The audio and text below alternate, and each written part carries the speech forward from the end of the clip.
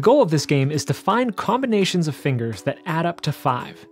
It's similar to our game Make 5 with dot cards, but this time we're playing using our fingers, which allows us to play anywhere and helps kids get a physical sense for different numbers. To play, I'll start out by saying, let's work together to hold up 5 fingers in all. But first, let's see how many 5 is. One, two, three, four, five. Okay, that's 5 fingers. And how many fingers do you have on your hand? Oh, five too? Okay, great. Now I'm gonna hold up some fingers. And you can tell me how many more we need so that we have five fingers in all. Then I'll hold up two fingers, and the child might know immediately that we need three more fingers to get to five.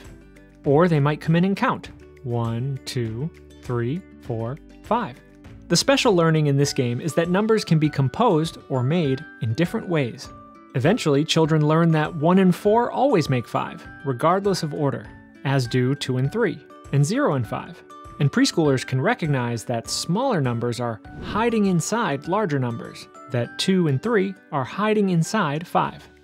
You can also play this game with numbers other than 5, like playing Make 3 with younger kids, or for more of a challenge, playing Make 8 or Make 10.